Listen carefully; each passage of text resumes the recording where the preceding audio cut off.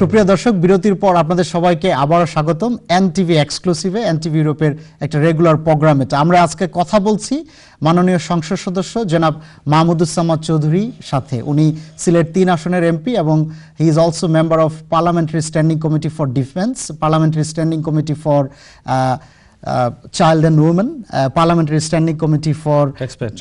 Experts as well তো আমরা আজকে আমরা আমরা কথা বলছি আপনার অ্যাক্টিভিটিস নিয়ে আপনি যে যে কনফারেন্সটাতে এসেছেন সেটা নিয়ে কথা বলছিলাম আমরা ফার্স্ট সেগমেন্টে সাইবার সিকিউরিটি নিয়ে কথা বলছিলাম সেকেন্ড সেগমেন্টে আমরা কথা বলছিলাম বাংলাদেশ বাংলাদেশের যে ডেভেলপমেন্ট হিউম্যান ডেভেলপমেন্ট ইন্ডেক্সে বাংলাদেশের ডিফেন্সের যে বাজেট বাড়ানো হয়েছে তা নিয়ে কথা বলছিলাম। তো এই সেগমেন্টে আমরা কথা বলব পার্টিকুলারলি আপনার পলিটিক্স নিয়ে এবং আপনি ফুটবল নিয়ে যে আপনার ভালোবাসা এবং আপনি যে যখন উনিশশো বাহাত্তর সালে আপনি বলছিলেন যে আপনি যখন ফার্স্ট বাদ সিটি কলেজের প্রেসিডেন্ট নির্বাচন নির্বাচনে আপনি জয়ী হয়েছিলেন তখন one of the first Asians to get that particular post তো ওইগুলো নিয়ে আজকে এই- ফাইনাল সেগমেন্টটাতে আমরা কথা বলব তো আপনি যেই ব্যাপারটা শেষ করতে পারেন আগের সেগমেন্টে যে আপনি বলছিলেন যে আহ, আমরা মহিলা শিশু বিষয়ক। মহিলা শিশু বিষয়ক মন্ত্রণালয় আপনি যদি খুব সংক্ষেপে তা শেষ করেন মহিলা ও শিশু বিষয়ক এটা কিন্তু একটা খুব বেশি ইম্পর্টেন্ট বিষয় বাংলাদেশের জন্য যে বাংলাদেশের নারীরা বঞ্চিত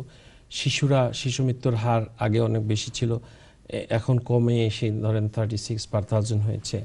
কিন্তু মা মৃত্যু যেটা ডেলিভারির সময় এগুলো সব কিছুর জন্য আমার মাননীয় প্রধানমন্ত্রীর প্রচেষ্টায় আমাদের যে কমিউনিটি ক্লিনিক যেগুলো করা হয়েছে প্রত্যেকটা ইউনিয়নে একটি করে কমিউনিটি ক্লিনিক করা হয়েছে। এবং ডাক্তার সেখানে দেওয়া হয়েছে। উপজেলা ডাক্তার সেগুলো রেগুলার পরিদর্শন করে। কমপ্লিকেটেড কেস হলে উপজেলা বা জেলায় নিয়ে আসা হয়। এই যে আমরা যে শিশু মৃত্যুর হার যদি আমরা আরও বেশি কমাতে পারি এগুলো তো আমাদের দেশের সম্পদ। হ্যাঁ বাচ্চা বেশি হয়ে যেতে পারে সেটা ফ্যামিলি প্ল্যানিং দেখবে। কিন্তু যে শিশু জন্মায়ছে যে মা জন্ম দিয়েছে তাদেরকে একটা সরকারের নৈতিক দায়িত্ব তাদেরকে ভালো তাদের তাদের দেখার জন্য। দ্বিতীয় জিনিস হলো যে আমরা মহিলাদের জন্য চাকরির কর্মসংস্থানের ব্যবস্থা। এটা জানেন যে পঞ্চাশ লক্ষ মহিলা গার্মেন্টস ইন্ডাস্ট্রিতে চাকরি করেন। আর আমাদের যে বর্তমানে যে জিনিসটা আমি কিছুক্ষণ আগে বলছিলাম সেটা হলো যে প্রাথমিক বিদ্যালয়। এই প্রাথমিক বিদ্যালয়ে সিক্সটি পার্সেন্ট কোটা রাখা হয়েছে মহিলাদের জন্য। আপনারা এটাও জানেন যে বঙ্গবন্ধু শেখ মুজিবুর রহমান জাতীয়করণ করেছিলেন প্রাথমিক বিদ্যালয়। পরবর্তীতে মাননীয় প্রধানমন্ত্রী শেখ হাসিনা ছাব্বিশ হাজার প্রাথমিক বিদ্যালয় সরকারিকরণ করেছিলেন এবং এক লক্ষ বিশ হাজার শিক্ষককে এমপিভুক্ত করেছিলেন। অর্থাৎ সরকারি বেতন ভাতা। ইদানিং এটা ডেভেলপমেন্ট কাজ চলছে চলছে। ইদানিংকালে আবার হবে। এই এই সরকারের আমলে ইনশাল্লাহ আবার হবে। তাহলে আমরা যে সিক্সটি পার্সেন্ট মহিলাদেরকে আমরা চাকরি কোটা দিলাম তাদেরকে অ্যাবজর্ভ করার জন্য আমার শিক্ষা প্রতিষ্ঠান যদি আরও বনে তাহলে তাদের কিন্তু কর্মসংস্থানের ব্যবস্থা হয়ে সুযোগটা আরও বেড়ে যাবে। এই মহিলা ফোর্স আপনি ওয়ার্ল্ডের যে কোনো জায়গায় দেখবেন এবং আমার যে অভিজ্ঞতা যে বাংলাদেশে যে জায়গায় আমি দেখি মহিলা অফিসার সেখানে অনেক জিনিস ট্রান্সপারেন্ট অনেস্টি এগুলো। রিলায়েবিলিটি এগুলো সব বেড়ে যায়। আমাদের মাননীয় প্রধানমন্ত্রী একজন মহিলা স্পিকার মহিলা বিরোধী দলীয় নেত্রী মহিলা আমাদের বিএনপির নেত্রী মহিলা ঠিক এইভাবে এই মহিলা মহিলাদের জন্য আপনার- মানা হয় এবং দেওয়া হয় কেন? জি, এবং মহিলাদের জন্য কিন্তু আপনার, they are cool and their leadership is good ji এবং আপনার মহিলাদের জন্য সংরক্ষিত আসনও আছে আসুন যেটা খুব rare। তিরিশ ছিল আমরা জি যেটা খুব রেয়ার পৃথিবীর মধ্যে rare। আমরা আপনাকে অনেক ধন্যবাদ এই পার্টিকুলার ব্যাপারে আমাদেরকে বলার জন্য। তা আমরা চলে যাব আপনার ফুটবল সম্পর্কে আপনার ভালোবাসা নিয়ে। আপনি তো একসময় খুব ভালো ফুটবলার ছিলেন এবং আপনি সিলেট লিগেও আপনি খেলেছেন।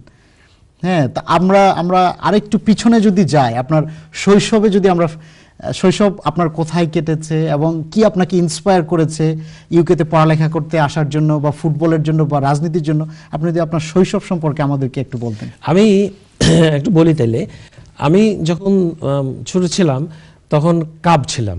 ওই যে বয় স্কাউটের ছোট ভাই কাব আর স্কাউটে হ্যাঁ আপনি ফ্রেঞ্চগঞ্জ সরকারখানা স্কুলে পড়েছেন যদি ইফ আই এম কারেক্ট আমি ফেঞ্চুগঞ্জ ফার্টিলাইজার ফ্যাক্টরি হাই স্কুলে ক্লাস সিক্সে থেকে পড়েছি।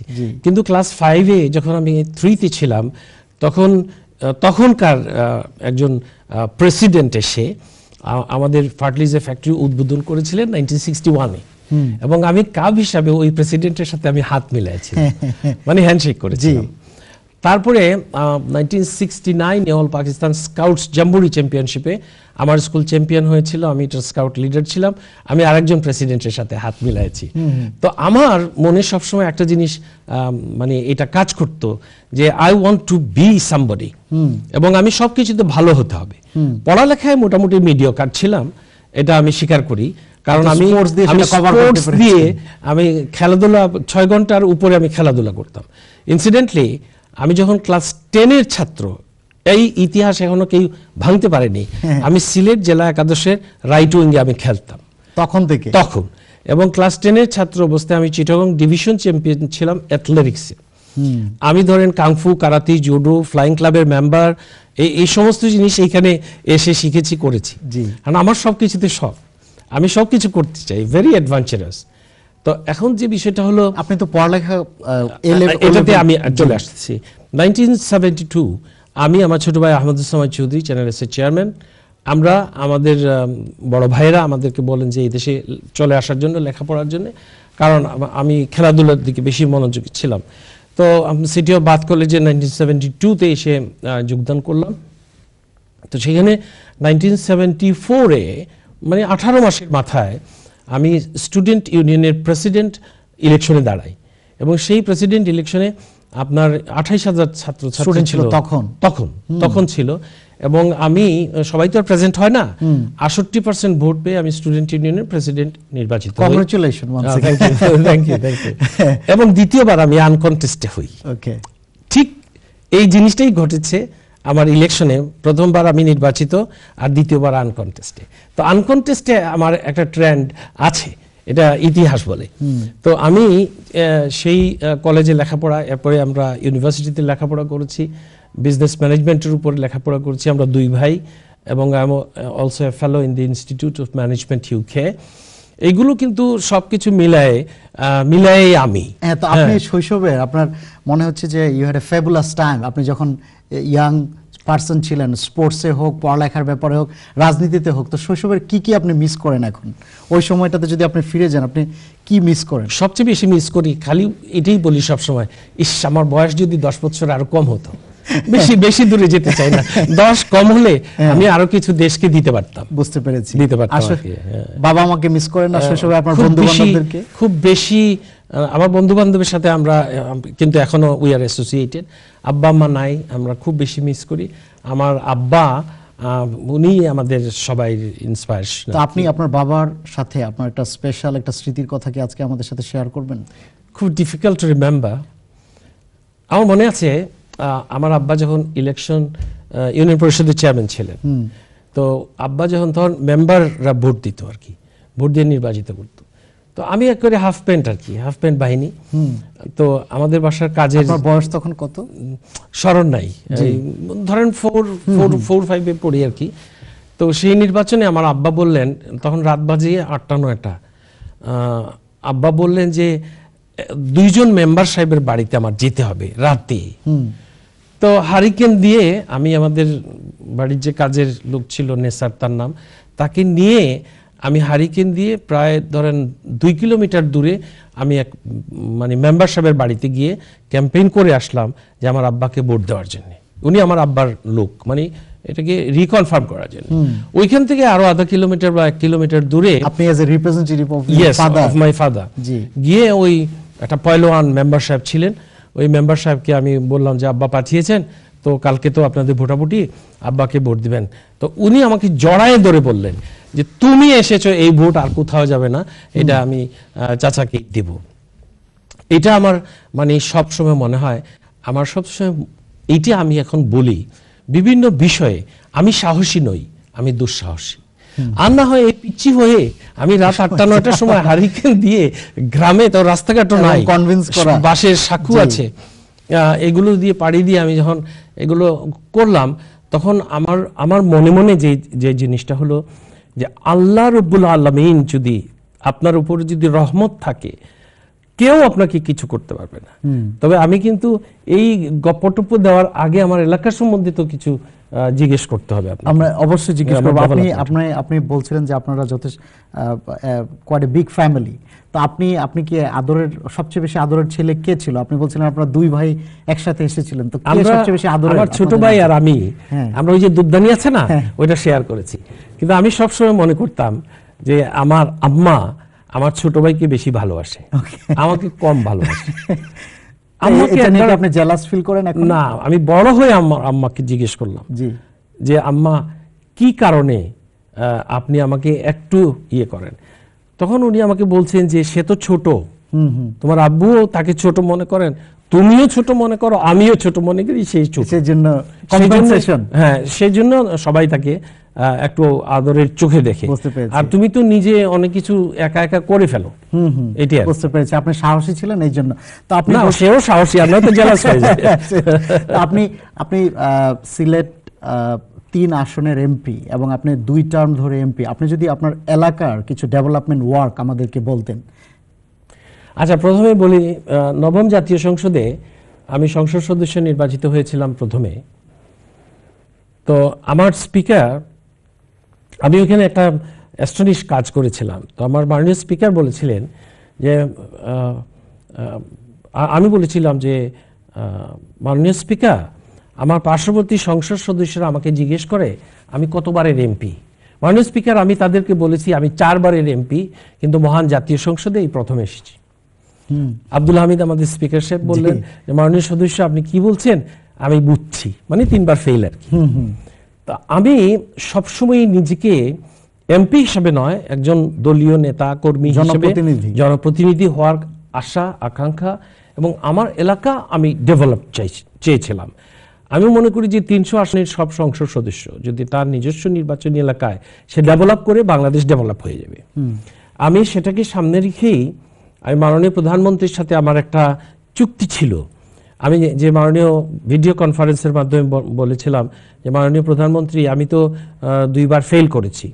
আমি মনে করি যে আমার এলাকার মানুষ আমাকে ভোট দিয়ে দিবে। যদি আপনি তাদেরকে প্রতিশ্রুতি দেন যে ফেঞ্চুগঞ্জে শাহজালাল ফার্টিলাইজার ফ্যাক্টরিটা আপনি করে দেবেন। উনি উত্তরে টিউলিপ ছিল সেদিন। উনি উত্তরে বলেছিলেন যে, আমি আপনাদের কথা দিচ্ছি যে আমার ক্যান্ডিডেট মাহমুদ ইসলাম চৌধুরীকে যদি আপনারা পাশ করায় দেন, আর আমি যদি সরকার গঠন করি তাহলে আমি আপনাদের শাহজালাল ফ্যাক্টরি বানিয়ে দেব। ঠিক দুই হাজার বারো সালে মাননীয় প্রধানমন্ত্রী এসে ভিত্তিপ্রস্তর স্থাপন করেছেন এবং গত আট মাস আগে এটা প্রোডাকশনে গিয়েছে। ছয় লক্ষ মেট্রিক টন সার প্রোডাকশন হচ্ছে। এটা হলো ছয় হাজার কোটি টাকার ইনভেস্টমেন্ট এরপরে আমি ধরেন আরও প্রায় দেড় হাজার কোটি টাকার অর্থাৎ সাড়ে সাত হাজার কোটি টাকার আমি আমার এলাকায় ডেভেলপমেন্ট ওয়ার্ক করে আমি পদ্মা সেতুর আগের মানে নাম্বার ওয়ান ডেভেলপার আমার এলাকা। যেটা আমার মাননীয় প্রধানমন্ত্রী যদি না দিতেন এটা আমি হইতে পারতাম না। অর্থাৎ আমি নবম জাতীয় সংসদের সংসদ সদস্য হিসেবে আমি এক নম্বর স্থান অধিকার করেছি আমার এলাকা ডেভেলপ করার জন্য। এটা গেল একটা বিষয়। এখন কথা আসলো যে শাহজালাল ছাড়া আপনি আর কি করলেন? আমার এলাকায় শিক্ষার হার কম ছিল। মানে লজ্জাস্কর অবস্থা ছিল। আমি সেটাকে ডাবল করতে পেরেছি। আমার এলাকায় কলেজ তিনশো সতেরো জন স্টুডেন্ট দক্ষিণ সোমা কলেজে সেটাকে আল্লাহ রবুল আলমীর মেহরবানিতে সাড়ে পাঁচ হাজার করেছি। সাড়ে পাঁচ হাজার। সেই কলেজটাকে আমি দশটা অনার্স কোর্স করাইছি। সেখানে মাস্টার্স তিনটা পাস কোর্স করাইছি। সেটাকে গভর্নমেন্ট করেছি। সেটাকে আইসিটি ভবন দিয়েছি। এবং এখানে নুন আনতে পান্তা ফোড়ায় এইরকম অবস্থা। আমার অ্যাকাউন্টে এফডিআর হলো সাড়ে চার কোটি। ঠিক সেইভাবে আমি ফেঞ্চুগঞ্জ ডিগ্রি কলেজ এই সমান কাজ করাইছি। ওইখানে এফডিআর হলো প্রায় তিন কোটি টাকার মতো এবং আইসিটি ভবন সহ সেখানে চারটা আপনার অনার্স কোর্স পাস কোর্স সব মিলে আমি হ্যাঁ, করেছি।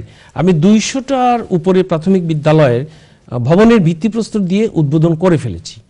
আমার এলাকায় দুইটা রাস্তা ছাড়া দুইটা রাস্তা একটা হলো ফেঞ্চুগঞ্জ আর একটা হলো আপনার ওই সিলেট সুলতানপুর সড়ক। এই দুইটা রাস্তা ছাড়া আপনি যে কোনো ফার্স্ট ক্লাস গাড়ি ইনক্লুডিং মার্সিডিজ ব্যান্স আপনি আমার এলাকায় চালিয়ে যেতে পারবেন। আরেকটা বিষয় হলো যে সিলেটের যত ডিভিশনাল হেডকোয়ার্টার্স আছে এগুলো উত্তর সাইডে ছিল। সিলেট এক আসনে ছিল। পর্যায়ক্রমে এই আট বছরে আমরা এগুলোকে সব কিছু- Decentralize করেছেন। ডি- না ডিসেন্ট্রালাইজ শুধু না এই সব হেডকোয়ার্টার দক্ষিণ সুরমায় চলে আসছে। যেটা আমার নির্বাচনী এলাকায় চলে আসছে। তো এই যে উন্নয়ন এবং শিক্ষা আমি সবচেয়ে বড় যে জিনিসটা মনে করি সেটা হলো ডক্টর মোহাম্মদ শহীদুল্লাহ বলেছিলেন যে শিক্ষা ছাড়া গণতন্ত্র অচল। শিক্ষা ছাড়া সবকিছু অচল। আর এখন আইসিটি ছাড়া চলাফেরা তো যাবেই না। আপনার আপনাকে অনেক অনেক ধন্যবাদ। আমাদের সময় খুবই সংক্ষিপ্ত। Do you have any particular message for young people living in UK very quickly. This is something I would like to say in English. The young generation living here in this country, as you, as you have heard, that um, I came from Bangladesh, I studied in this country, and I went back to Bangladesh again, the Lal Patakar Desh. I would um, sort of request you to come and uh, live, not live in there, come and try Bangladesh, and you try to help Bangladesh because your roots are from Bangladesh. ধন্যবাদ। আমার আজকে NTV স্টুডিওতে আপনাকে আসার জন্য আপনাকে আবারও অনেক অনেক ধন্যবাদ এবং we you know we wish you a pleasant stay in UK and safe journey back to Bangladesh thank you very much once সবাইকে ধন্যবাদ। সুপ্রিয় দর্শক এনটিভি ইউরোপের আজকে আপনারা দেখছিলেন এনটিভি এক্সক্লুসিভ আপনারা সবাই ভালো থাকবেন সুস্থ থাকবেন। সেই পর্যন্ত আল্লাহ হাফেজ অ্যান্ড টেক কেয়ার